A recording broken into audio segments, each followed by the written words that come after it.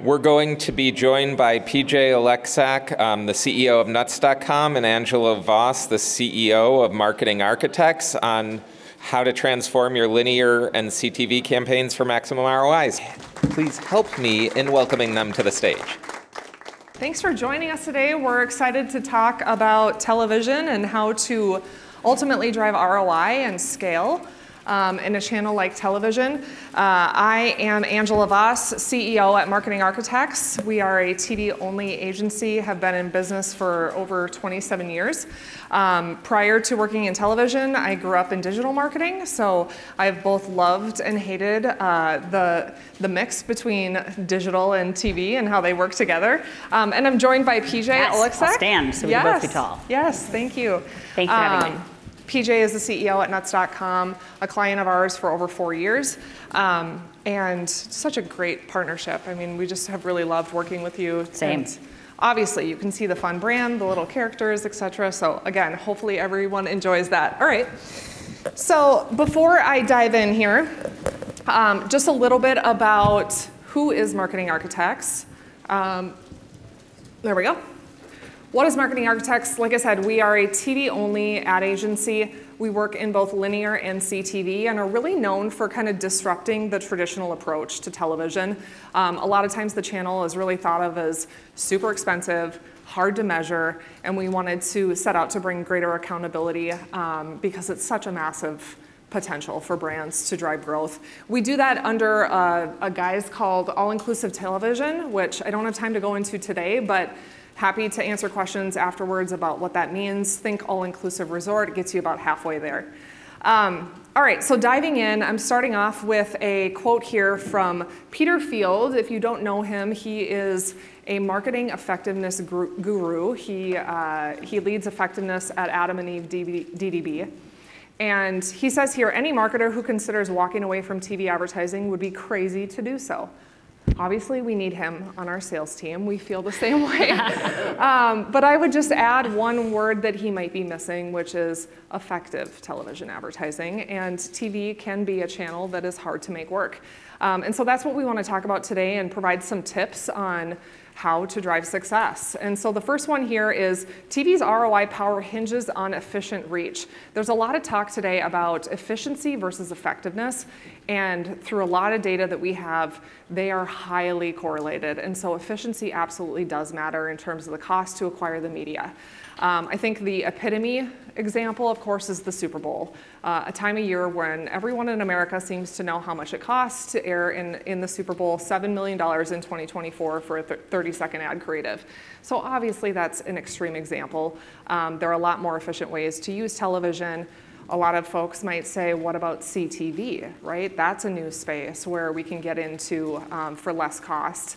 And although the absolute cost to enter might be less, it's a bit sneaky because the streaming space is actually higher on a CPM basis than the linear environment. And that's really driven by the technology fees that exist, right? You've got SSP fees, DSP fees, ad exchange fees, third-party targeting costs. It just climbs and climbs, and ultimately, uh, a lot of brands find themselves reaching a point at which the cost is just prohibitive and ROI becomes unfeasible. So how do we go about tackling this? Um, before I get into how, why does it matter? So I got a chart here. I'm going to explain it just a little bit. Along the left-hand side, we've got reach percentage as reported by Nielsen and Samba. And along the bottom, the x-axis is TV media cost as reported by Kantar.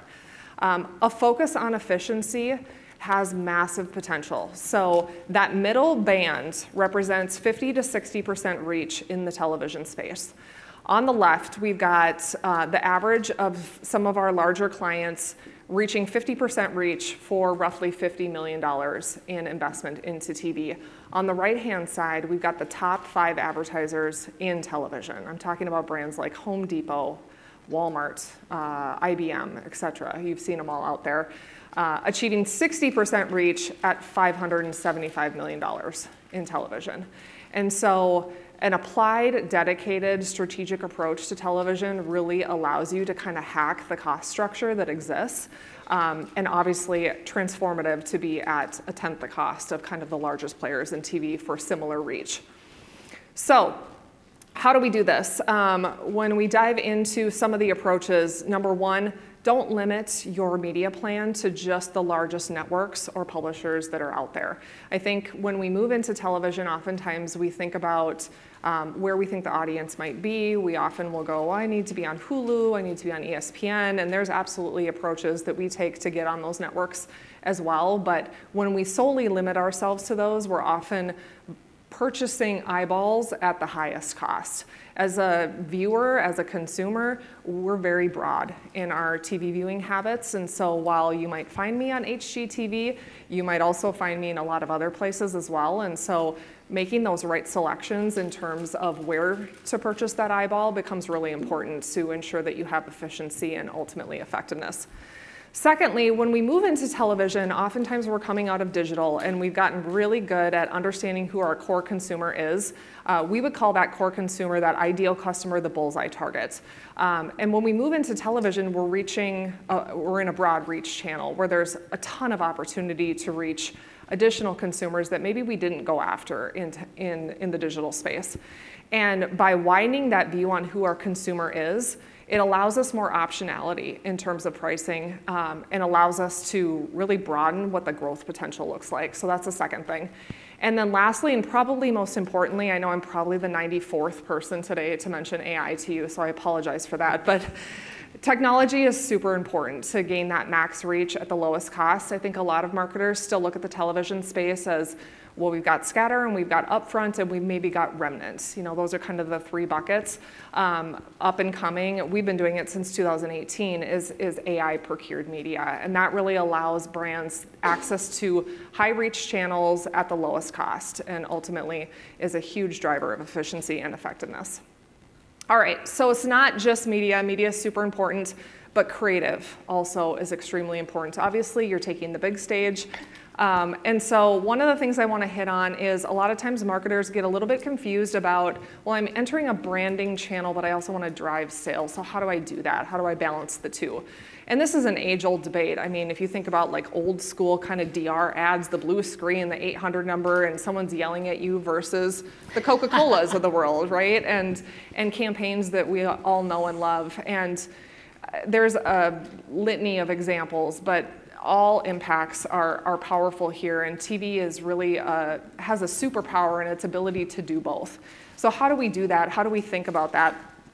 Um, simple things like including a call to action, but also telling a story. So if we think about consumers in a brand like Nuts.com, um, I'm in market for snacks all, all, the time, really. I mean, you don't really need to convince me too hard to be um, in market, but maybe for something like pest control, um, you know, uh, we always say a TV ad doesn't create a mouse in your kitchen. So you, it, television has the capability to hit consumers that are in market for your product or service today and absolutely drive immediate sales measurably um, and accountably, but also not everyone that we hit is going to be in market for your product or service at the time that they see a TV ad. And so we also want to be memorable and ensure that we're building mental availability for you know, years to come.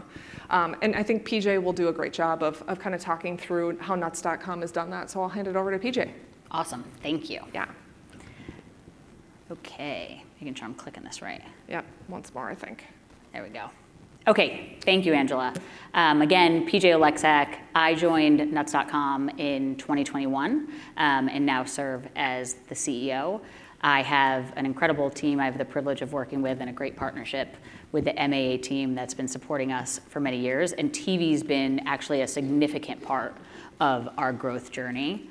Um, nuts.com wasn't always nuts.com.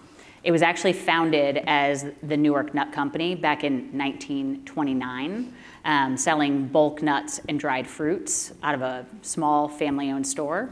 Um, and then in the late 90s, which is still forever ago to many of us, we launched nutsonline.com to bring our offering nationally. Um, and then the name eventually evolved to nuts.com, which was a really fun story um, when we have a little bit more time.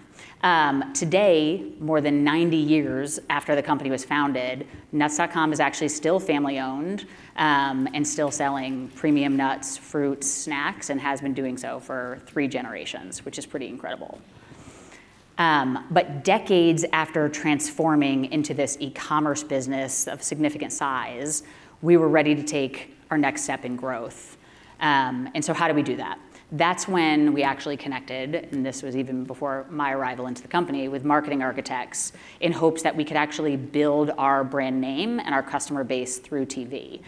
However, we are a company because of our private ownership and our rigorous kind of financial goals. We, it was very important to us that we actually focused on not only building the brand, but also meeting our sales objectives and doing so efficiently through our campaigns. Um, Marketing Architects, as Angela has shared a bit, is a full service agency. So they've managed everything from our brand strategy to our creative production to our attribution and have really helped us. Um, and in 2020, we launched our first ever TV campaign. Weeks after launching the campaign, we were attracting new audiences, we were highlighting our nuts, our fruits, our snacks nationally, and then our national aided awareness actually rose more than 100% while driving a positive return on our ad spend. New customers increased 166%, setting a company growth record, um, and in fact, we were getting more impressions on TV than Planters, who we're, we're very proud of. You might know them. um, and so significant progress for a brand that really hadn't been doing much of any advertising previously. Um, but that initial campaign was really just the beginning of our journey on TV. Um, it continues today to be a significant portion of our advertising spend. We've long positioned ourselves as an online grocery company, thinking about that long tail pantry. How can we provide for you all of the different things that you need from a shelf stable standpoint? But actually, with great partnership and our research that we had done with marketing architects, they helped us understand that there was a different avenue um, and that we should be considering being more positioned in the snacking category um, as well. So after conducting a brand study with marketing architects strategy team, we found that nuts.com was actually repositioning as a online snacking brand, increased our contextual awareness, by 136%, and shifting our messaging focus, this goes back to the creative point you were just making, improved our relevance, particularly amongst younger demographics, which so many of us are trying to make sure we stay hip and relevant with, especially even as you're thinking of a channel like linear TV. So TV was for us the perfect place to really broadcast our new positioning and get very increased fast awareness um, and communicate through new creative the shift that we made by highlighting a broader range of snacks. As you can imagine with the name nuts.com, that could be limiting. People think we're just nuts, but we're actually much more than that, um, some of which I hope you're enjoying today. Um, and so I want to show you a little bit more about our creative and how we help bring this to life. This was led by the marketing architects team um, as we tried to reposition and help our customers and the broader market understand that we're much more than just nuts. Um, and let me know what you think about it. We went with the website nuts.com because nuts and dried fruit and pretzels and trail mix and gummies and chocolate and espresso beans and malted milk balls and crackers and popcorn and sesame sticks and veggie chips and energy squares and fudge and jelly beans and seeds and rock candy and saltwater taffy and dried berries and fruit leather and bars and jerky and a whole lot more .com was already taken. Get 20% off and free shipping on your first order at nuts.com. Yes, we have more than nuts, but still the website is just nuts.com. Love the chuckles. So work like this has really been incredible for us as a, as a privately held business that's very focused on not only achieving our growth goals, but also doing so really efficiently and effectively. And we are rigorous about measurement. I was listening to the prior session for those of you that were in it. Um, but this partnership and our work with linear TV has actually been incredible for not only building our brand, but also our sales results. And if I think back to our first ever campaign, when we saw the 100% increase in aided awareness and the 166% increase in new customers, all from the same creative, it just, it's proven to us that it can work really well to bring these campaigns together. And it's just really impactful just to be focused on both brand building and performance, and you don't actually have to make the trade, which I think, you know, at some point in my career earlier on, I definitely thought you did. Awesome. That'll pass it back to you. All right. So I think the last thing to touch on here is if we're talking about driving effective, efficient, you know, television results, um, something that's scalable, we have to be able to measure it, right? Um, I think a lot of marketers come into television thinking that it could take a really long time to measure it. Um, we might not be able to measure it. It might just be a brand awareness play. Um, but lots of evolution has happened in this space. So I want to talk a little bit about that. So we look at measuring micro, macro, and business results um, in three separate buckets. And so if I just dive into those a little bit, micro is more of your short-term performance. Business is more of your long-term performance. Micro would be anywhere from a minute to say 10 minutes after a spot airs. So for nuts.com, we go out and purchase, you know, a, a spot on CNN. Um, we've got nuts.com pixeled and we can see immediately a web spike above baseline to, to, their, to their websites. And so that would be micro. It could also be 800 number calls. We do have campaigns that still have 800 numbers, insurance and things like that, QR code scans, app downloads. But what's happening in that first like 10 minutes is really that micro. Leading indicators of success, not the whole picture. Macro would be Shifts in traffic composition. There was a lot of discussion in the last session about lifetime value. That's a big one. Often we see that television drives a better lifetime value than some other channels. Not that anyone's comparing, I'm just saying that, that, that we see that. Um, and things like conversion shifts, that type of thing. So macro would be more weeks to months. Um, business impacts are typically, you know, four to six months after. So we're measuring brand awareness, things like pricing power, stock price changes. TV has immense potential to, to move a lot of needles different than um, you know, some other channels. So it's really important to look at all of them. Uh, the other piece that I would speak to here is uh, a lot of times when marketers come into television, we've already kind of established what are those go-to key KPIs that the business has, which absolutely we should be looking at. We need to, you know, relatively understand television's performance versus uh, any other channel. Um, but given the fact that TV really is a full funnel channel, we need to kind of widen that view. And so work with your agency, your partner, your internal team, whomever it might be to really lay out if television was successful, what other KPIs might we see move that really today we don't look at? That would really allow you to further and deeper understand what television does. So, like I said, pricing power, email text signups, return on ad spend, cost per visit, whatever it might be that broadens the funnel um, is an important thing. And then the other piece that we always suggest is really developing theories on what's going to optimize the campaign in advance. So test and learn scenarios, right? How is linear going to perform in comparison to streaming? Um, and how will we optimize to that? If we've got you know incremental reach happening in streaming, but it's not performing maybe at the same ROI as what uh, what linear is, what will we do about that? You know, those are go good things to think through. How does creative uh, spot length impact performance? Um, you know, on a 15 second creative, if it's performing uh, worse than a 30 second spot, do we value that frequency because maybe it's building, you know, long-term awareness, that type of thing. And then um, I've had already mentioned, you know, LTV in comparison to some other channels and what would we want to see from television. Lastly, um, just diving into a bit here, we are big believers in multiple attribution models. Um, TV is not a channel that you can get a single read on. Uh, you will for sure head in the wrong direction with a single read.